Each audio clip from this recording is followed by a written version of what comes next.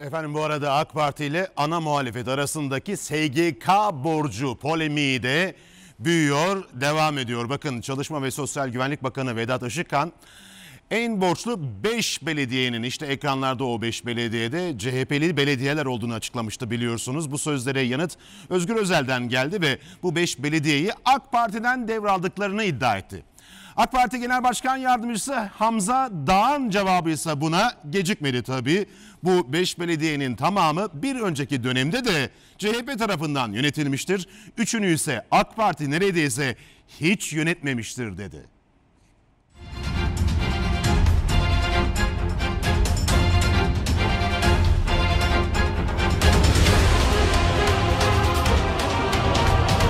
Şu anda belediyelerin borçlarıyla ilgili Hazine ve Maliye Bakanlığımız kaynağında bu borçların tahsiline başlayacaktır. öyle belediyeleri zora sokarak halkın hizmetini aksatarak CHP'yi yıpratacağını düşünüyorsan aldanıyorsun. AK Parti ile CHP arasındaki belediyelerin SGK borcu tartışmaları devam ediyor. Bakan dedi ki dün 90 milyarın üstünde borç var.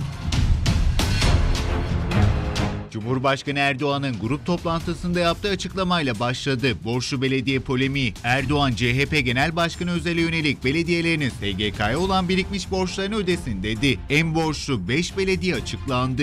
Türkiye'nin en borçlu belediyeleri AK Parti'den CHP'ye geçen belediyeler. Çalışma ve Sosyal Güvenlik Bakanı Vedat Işıkhan, belediyelerin Sosyal Güvenlik Kurumu'na toplam prim borcunun 96 milyar lirayı bulduğunu ve en borçlu belediyelerin CHP'ye ait olduğunu vurgulamıştı.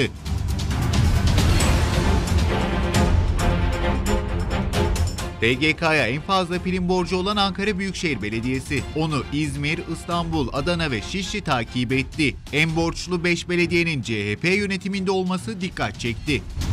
CHP Genel Başkanı Özgür Özel'in gündeminde de SGK borcu polemiği vardı. En borçlu belediyeleri AK Parti'den devraldıklarını iddia etti. Türkiye'nin en borçlu belediyeleri AK Parti'den CHP'ye geçen belediyeler. CHP'li belediyelere borçlar yüzünden haciz işlemi yapacak. Talimatları vermiş. Parayı AK Partili harcamış. Biz ödeyeceğiz bunu. Hem de şimdi ödeyeceğiz. CHP liderinin bu manipülasyonunu AK Parti Genel Başkan Yardımcısı Hamza Dağ sosyal medya hesabından yaptığı paylaşımla böyle çürüttü. Bu 5 belediyenin tamamı bir önceki dönemde de CHP tarafından yönetilmiştir. Üçünü ise AK Parti neredeyse hiç yönetmemiştir. Özel'in algı operasyonunu deşifre eden Dağ, ana muhalefete eğer devlete ve millete katkı sunmak istiyorsanız belediyelerine borçlarını ödettir diye seslendi. Sayın Özel hamaseti ve her çiftçiye traktör yalanında olduğu gibi çarpıcı olsun diye beyhude nutuk çekmeyi bırakmalı. Belediye başkanlarına eğer gücü yetiyorsa bu borçları derhal ödeme talimatı vermelidir. Cevap veriyorum. Çok beklersin. Çok beklersin. Çok beklersin.